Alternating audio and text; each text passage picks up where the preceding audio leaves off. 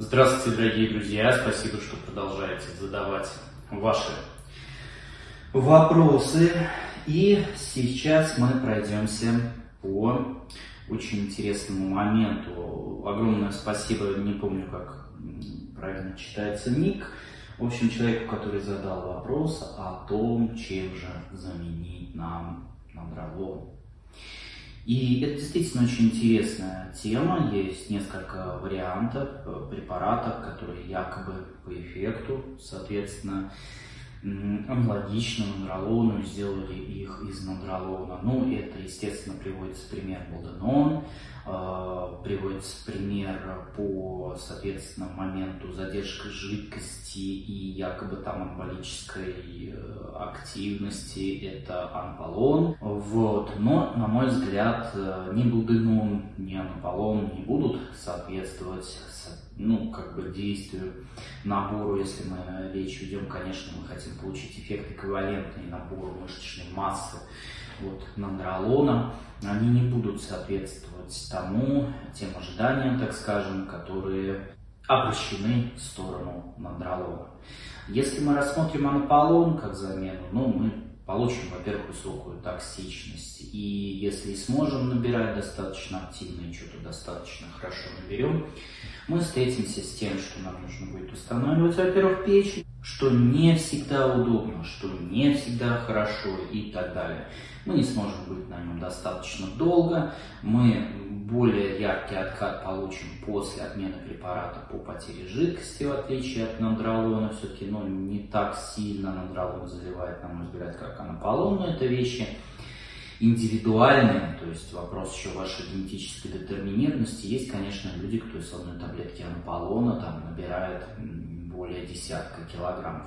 Вот. Но, тем не менее, среднестатистический, э, так скажем, пользователь анаболических стероидов, он не возьмет так много от анаполона. Балденон же он не так ярко срабатывает, особенно в низких дозировках до 1 грамма. И если вы просто ставите курс э, тестостерон балденон, ну, маловероятно, что вы получите такой же набор мышечной массы, как от нандролона. Опять же, Здесь нет никаких исследований официальных, вы должны это понимать. И каждый специалист, он э, руководствуется скорее своим клиническим опытом. Да, я здесь рассуждаю, чем нежели что-то какие-то исследования, можно ссылки сделать. Естественно, никто никогда не исследовал анаболические стероиды на предмет набора ну, такой уже мышечной массы сверх, чем положено по формуле того же Броука. Вот, наверняка вы считывали себе. Ну, мы прекрасно понимаем, что тут же брокот средней температуры по палате, но тем не менее. То есть никто в медицине не ставит, соответственно, задачи набор экстремальной мышечной массы, как это делают спортсмены-бодибилдеры, или набор экстремальных силовых, как это делают тяжелоатлеты, пауэрлитеры и тому подобное.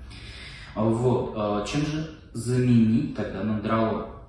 На мой взгляд, э, более лайтовая форма замены нандролона это сустанон, не потому что там что-то там есть по формуле эквивалентное ну, нандролону, это просто набор разной длины э, тестостерона классического для нас. Вот, но э, он достаточно из-за этого, из-за своей специфики сильно задерживает жидкость он э, достаточно анаболически активный, вот, особенно если брать дозировки, что все профессионалы делают с уставом через день, то, соответственно, ну, я имею в виду, большие дозировки ставят, если мы говорим о профессиональном бодибилдинге, где используются все-таки экстремальные дозировки препарата.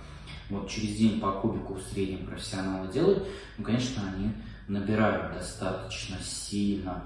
Вот. Ну и второй момент, чем можно заменить надролон, более продуктивно, на мой взгляд, чем сустанон, это, конечно, все виды тренбаллонов. Вот. Но здесь мы сталкиваемся с побочными эффектами, в принципе, у надролона они есть. И вот здесь уже, соответственно, надо решать, смотреть. И второй момент какой, что есть некие особенности, сейчас не буду там, я встречал исследования, не буду вдаваться в подробности. И вот вам последние новости по тренобаллону, что достаточно эффективно измерять эстрогены в крови, как по классике мы делаем со всеми анаболическими стероидами, желательно измерять их в слюне. Вот, то есть использовать более высокочувствительные, соответственно, анализы на эстрогены. И таким образом смотреть, э, вот при использовании тренобаллонов, смотреть эстрадиола. Опять же, данные разнятся. Кто-то говорит, что просто как бы тренобаллон он прячет условно эстроген, у вас же там еще тестостерон. Есть те, кто говорит, что сам тренобаллон, он просто вот способствует накоплению, да, таких низкочувствительных эстрогенов. Ну, вот эти вот данные пока, когда они будут точными, когда я прям найду хорошие исследования, хоть какие-то, я вам обязательно их выложу и скажу. А пока вы можете просто для себя это зафиксировать, это ну не прям уж супер дороже сделать эстрадиол в слюне. Те, кто может быть уже на курсе тренабаллона, они могут сделать, посмотреть, э, есть ли разница с кровью. Просто имейте это в виду, как такую занятную, интересную информацию. Здесь, э, опять же, повторюсь, нельзя на 100% что-то говорить. По побочным эффектам и там, и там, что у нейтролона, что у тренобаллона, ну, нужно, соответственно, их гасить, и, наверное, я не буду повторяться, какие вы все можете найти мои ролики про э, анализы крови на тринобаллоне, анализы крови на нандролоне, все побочные эффекты, там все это описано. Вот. Ну и там, и там мы видим, что побочные эффекты достаточно яркие, и шил на мыло, как говорится, если это дозировки там нандролона где-то от 600 или там даже от 400, ну точно будет уже выраженные побочные эффекты. Ну вот, и гиперкоагуляция будет и там, и там, как э, примерно, ну, такая же гиперкоагуляция 400 нандролона в неделю, это примерно такая же и коагуляция, да, гиперкоагуляция, сравнимая с одним кубиком тринобаллона. Ну, вот, на мой взгляд, как-то так плюс-минус можно сравнить. Опять же, это все ультрировано, никто это никогда, мне кажется, не высчитает. И многое зависит от вашей генетики, от ваших индивидуальных способностей. Но я к тому, что это все равно ну, достаточно такой серьезный препарат э, с серьезными побочными эффектами. И заменить и то, и другое можно, но надо понимать, что вы уже начинаете использовать но серьезную фармакологию. Опять же, опять же, для тех, кто хотел изменить с целью реабилитации, да, то есть ему по каким-то причинам он считает, что не походит на дролон, ему нужно что-то там, чтобы коленочка восстановилась, плечико зажило, я уже снимал э, целесообразность, выпуск целесообразности э, реабилитации тринобаллоном, этот выпуск есть, смотрите опять же его в плейлистах, та же эндокринология, та же фармакология. Вот смотрите, там этот выпуск есть, мы на эту тему уже просуждали. Так что вот, дорогие друзья, ну, конечно, будет интересно, если мы просуждаем, пишите ваши моменты, э, чем заменить надролон. Э, можно, конечно, еще что-то фантази пофантазировать, еще препаратов много осталось. Но опять же, мы договариваемся о том, что вот э, надролон не токсичен особо, и мы, соответственно, конечно же, в вашем диалоге не должны рассматривать вообще, на мой взгляд, пероральные препараты, потому что, соответственно, все, что вводится перорально, как правило, оно токсичное. Вот. И э, ну, это не совсем подходит, на мой взгляд, под терминологию заменить надролон. То есть мы его заменить должны эквивалентно по токсичности препарата. Так что вот, дорогие друзья, кому интересно, задавайте вот такие классные, интересные комментарии. Действительно, комментарии по делу, на мой взгляд. Вот, потому что очень часто пишут, у меня анализы такие-то, у меня вот кровь такая-то, я там сдал на эстроген, чем мне погасить или там хочу начать курс э, там нандролона, можно ли это сделать без анализов, ну всякий бред, то есть на мой взгляд, то есть канал посвящен анализам крови, не только по фармакологии, но и другим заболеваниям и так далее. Мы постоянно на эту тему рассуждаем и говорить о том, что можно ли курсануть без анализов, ну, это несколько неправильно, да, то есть вы вообще приходите на канал, который посвящен анализам и ну, мы же шаманизмом здесь не занимаемся, поэтому ну, это бессмысленный абсолютно вопрос. Ну, вот потом, если вы хотите разбирать э, ваши индивидуальные случаи, чем там, как можно курсануть, понятно, что это нужна индивидуальная консультация, потому что в комментариях элементарно вы не можете выслать все анализы.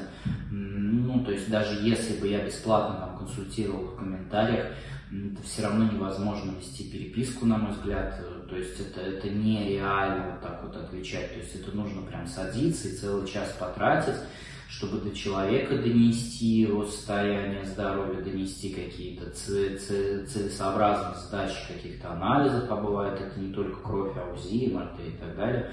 То есть очень много подводных камней. И невозможно ответить э, конкретно для вас, что подойдет. Мы гипотетически можем там посравнивать какие-то препараты, как сегодня я сделал.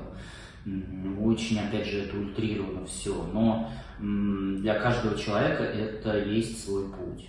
Так что вот, имейте в виду, не обижайтесь на меня, кому я говорю, что вперед на платную консультацию это невозможно сделать бесплатно, потому что огромное количество времени нужно потратить, чтобы анамнез да, изучить. А представляете, сколько у вас даже платников. Вот, поэтому ну, невозможно. Невозможно, соответственно, в комментариях дать вам ответ на индивидуальные какие-то вопросы. А вот а вопросы общего характера из разряда, там, какие побочные эффекты я могу встретить у того или иного препарата, можно ли с тем или иным заболеванием, соответственно, допустим, использовать там какой-то препарат, ну вот плюс-минус какие-то моменты, можно сказать и то, во многих случаях я вам могу написать, нужно исследовать анамнез, значит, нужно индивидуально отвечать на этот вопрос.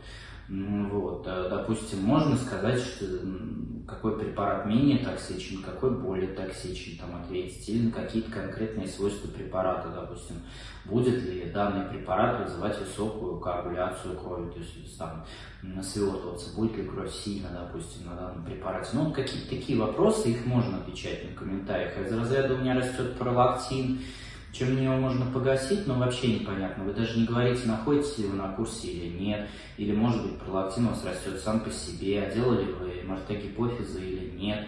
Ну, поэтому, соответственно, это невозможно ответить в комментариях на эти вопросы, ну, никак. Так что вот, дорогие друзья, подписывайтесь на мой канал, ставьте лайки и жду ваши вопросы в комментариях. Да пребудет с вами здоровье!